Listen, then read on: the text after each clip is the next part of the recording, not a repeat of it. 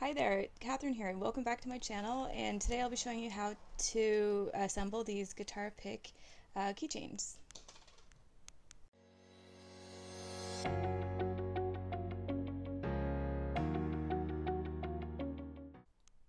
So these keychains are really easy to make and uh, you'll be able to make up a lot of them in a short period of time. They're great for uh, storing your uh, guitar picks if you want to put them on your case or on your keychain.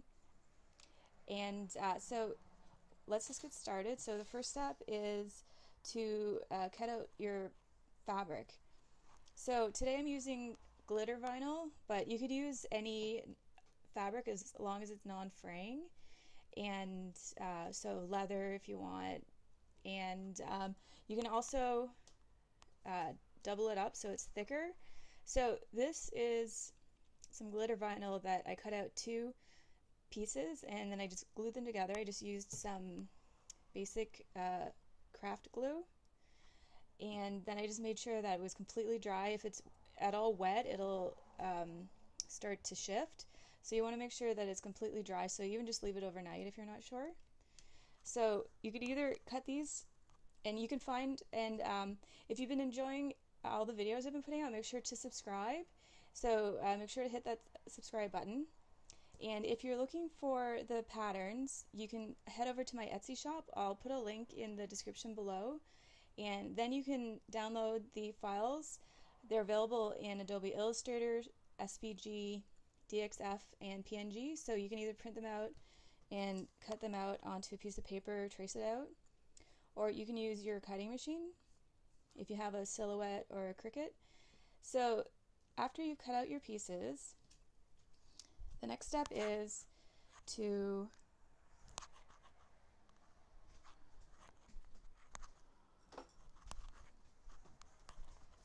if you've cut them out by if you've cut them out by hand, then the next step is to hole punch. So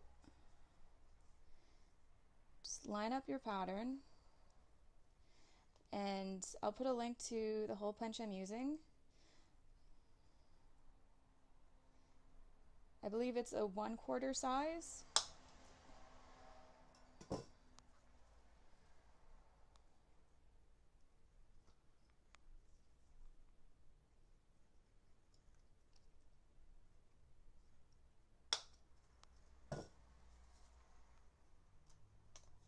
And then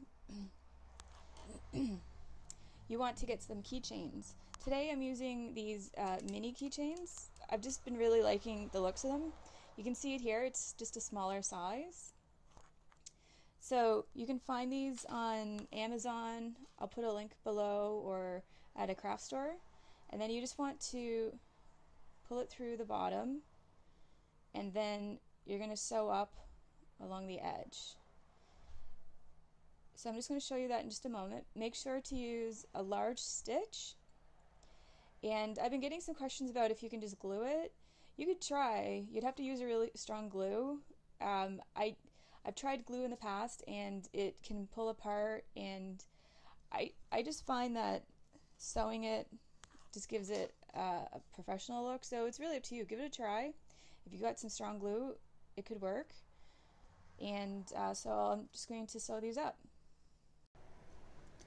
So you want to sew very slowly and with a really large stitch. And you make sure and I'm not pinning it or anything. I I find it's fine just to hold it in place with your hands. It's just I'm trying to keep my hands out of the way so that you can see the needle so the fabric is shifting a little bit. Let's see if we can fix that. So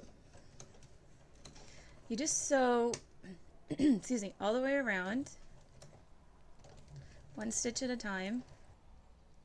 So now that you have the ring attached and the uh, the keychains uh, sewn along the bottom, the next step is you want to add a snap where the little holes are. So you want to choose a smaller snap and I'm going to go for a, a bright color just so you can see what I'm doing. So I'm just picking out the pieces right now. So you can find snaps on like Amazon or from Walmart or wherever. I'll put a link below. So the first snap goes in here. And then see how there's a top piece and a bottom piece or in, in and out. So now you choose either one, you put it on top, then you need this tool, and then you squish them together. And that smushes them. So now you just have to do the top. So you put the plastic part on the bottom, then you put the other part on top. Use your device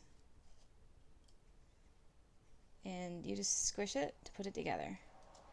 So, and you can see that it's coming apart a bit. So, one idea is that I could sew it along the edge and also along here before I had sewn it. That would be a nice detail. I'll probably just glue it later on. So now I'm basically done. So as you can see, the guitar pick just fits in there and then you just close it like that. So it looks really nice how it is with, um, sorry about the lighting, the sun's changed. Um, so it looks really nice like this with just the keychain, but if you want to, you can find these accessories on Amazon and it'll add an extra detail. You just attach it here they're sold in a bag of 100. So I'll put the link below. And so there you go. So now you know how to assemble the guitar pick uh, keychains. So let me know in the comments if you have any questions and make sure to subscribe and thanks for watching and I'll see you next time.